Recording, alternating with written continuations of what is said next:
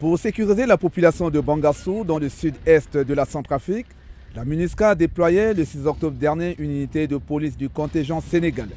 L'action de ces 70 policiers sénégalais a été très appréciée par la population. Une cérémonie en l'honneur de cette unité de police du Sénégal a eu lieu sur la base militaire Poko. Je venais euh, remercier, euh, saluer l'engagement euh, du commandant de la FPU, des officiers, sous-officiers et policiers euh, qui ont fait ce déplacement pendant plus de trois mois, qui ont travaillé dans des conditions euh, très difficiles, y compris dans un environnement logistique qui est euh, rustique.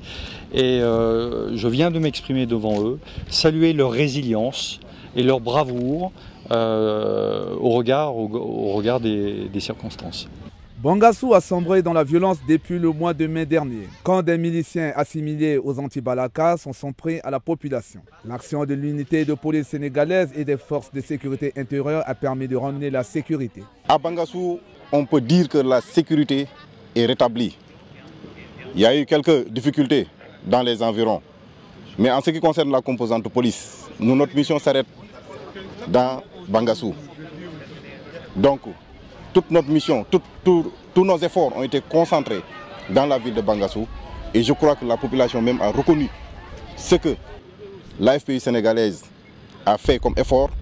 L'unité de la police sénégalaise sera remplacée par une unité de policiers camerounais qui va bientôt être déployée à Bangassou pour appuyer les forces de sécurité intérieure.